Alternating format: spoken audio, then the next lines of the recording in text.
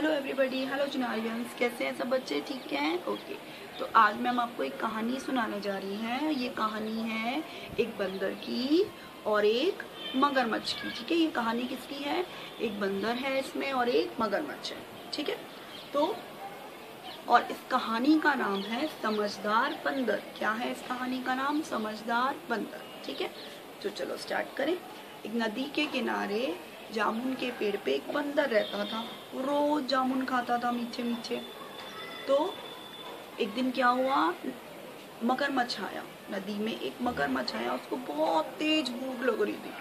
उसने देखा कि बंदर तो जामुन खा रहा है। तो क्यों ना मैं उससे जामुन ले लूँ, है ना? तो मगरमच्छ किसके पास गया? बंदर के पास में। और बंदर से उसने कहा कि मुझे मीठे मीठे जामुन दे दो। तो बंदर ने क्या किया? उसको जामुन दे दिए खाने के लिए।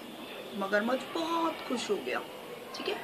फिर अब रोज मगरमच्छ बंदर के पास आता, जामुन लेकर और खुश हो जाता।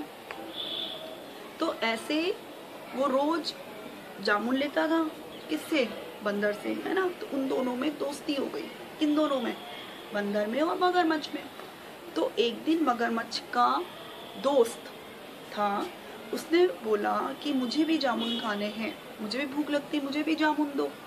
तो मगरमच्छ ने कहा कि मैं बंदर के पास जाऊँगा और तुम्हारे लिए भी जामुन ले आऊँगा। तो उसके दोस्त ने बोला, मगरमच्छ के दोस्त ने बोला कि जब जामुन इतने मीठे हैं और बंदर तो रोज जामुन खाता है तो उसका दिल तो बहुत मीठा होगा। उसका दिल तो बहुत मीठा होगा। तो मुझे जामुन नहीं खाने, मुझे तो क्या खाना है? बंदर का दिल खाना है। तो मगरमच्छ ने कहा, चलो ठीक है, मैं बंदर के पास जाऊँगा और वहाँ पे उससे बोलूँगा। तो क्या हुआ? मगरमच्छ बंदर के पास गया। उसने बोला कि, मेरा दोस्त तुमसे मिलना चाहता है। ठीक है, बंदर खुश हो गया। फिर बंदर ने बोला, पर मैं जाऊँगा कैसे?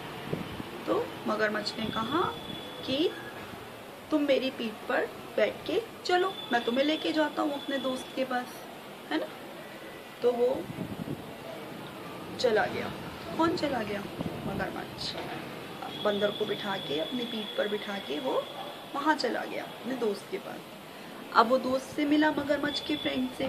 तो मगरमच्छ के फ्रेंड ने कहा कि तुम इतने मीठे मीठे जामुन खाते हो, है ना? तो तुम तो बहुत मीठे हो। पर मुझे जामुन नहीं खाने, मुझे तो तुम्हारा दिल खाना है। तो बंदर डर गया। बंदर ने सोचा कि दिल भी कोई दे सकता है किसी को। तो बंदर को एक आइडिया आया, एक विचार आया। तो बंदर ने क्या सोचा? बंदर ने कहा, अरे, मैं तो अपना दिल जामुन के पेड़ पर ही भूल के आ गया। मैं अपना दिल तो कहाँ भूल के आ गया। जामुन के पेड़ पर ही भूल कर आ गया। अब मैं कैसे दू तुम्हें? तो मगरमच्छ ने कहा, ठीक है। है ना? मगरमच्छ ने कहा, ठीक है, चलो। और तुम्हारा दिल हम कहाँ लेके, कहाँ लेने जाएँगे? जामुन के पेड़ पे। तो मगरमच्छ वो जामुन के पेड़ पर लेके गया उसको बंदर को। तो बंदर जैसे ही जामुन के पेड़ के पास पहुँचा, उसने जंप लगाई, एक छलांग लगाई और वो पेड़ पर जाकर बैठ गया। फिर वो मगरमच्छ पे बहुत गुस्सा किया कि तुमने मुझे बेवकूफ़ बनाया। है ना, कि तुमने मुझे बताया नहीं कि वो मेरा दिल माँगता है, दिल भी कोई किसी को देता है क्या? है ना? तो मगरमच्छ तो बंदर ने बोला कि आज से मेरी और तुम्हारी दोस्ती खत्म, मुझे ऐसे दोस्त नहीं बनाने। ठीक है? तो ऐसे मगरमच्छ और बंदर की दोस्ती खत्म हो गई। तो इस कहानी से हमें ये शिक्षा मिलती है कि हमें किसी भी अनजान लोगों से बात नहीं करनी चाहिए और मुसीबत के टाइम पर जब हमें मतलब कोई बहुत बड़ी प्रॉब्लम आ जाए तो हमें उसका समझदारी से क्या निकालना चाहिए? हल निकालना चाहिए। ठीक है? समझदारी से हल निकालना चाहिए उसका। मुसीबत के टाइम पर हमें हार नहीं माननी चाहिए और उसका डट कर सामना करना चाहिए। ओके किड्स तो ये कहानी आपको समझ में आई? किसकी कहानी थी ये? बंदर और मगरमच्छ की। और समझदार बंदर की, क्योंकि उसने अपनी समझदारी से अपनी जान बचाई ना। है ना?